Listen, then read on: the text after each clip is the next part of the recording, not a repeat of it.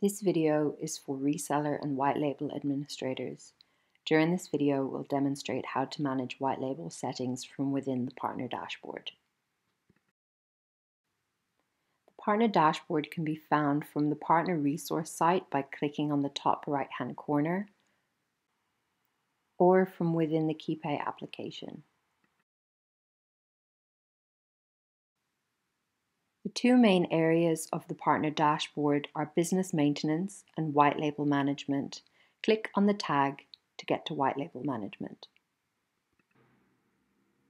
From here, you can add a new white label using the green button on the right hand side of the screen. You can export basic details about your white label, or you can filter through white labels and choose a white label to manage. The white label details page shows you basic details about your white label.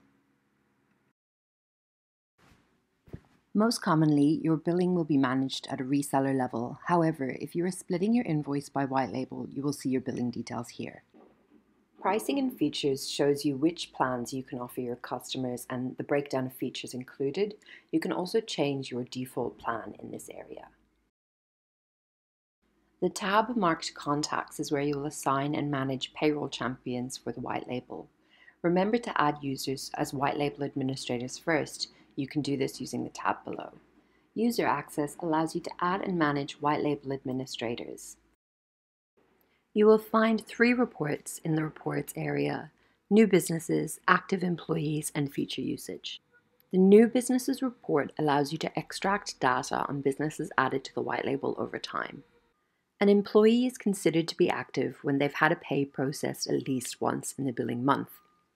The information you can extract using the Active Employees report includes the number of employees that have appeared in a pay run during the filtered period and the number of finalized pay runs within a business.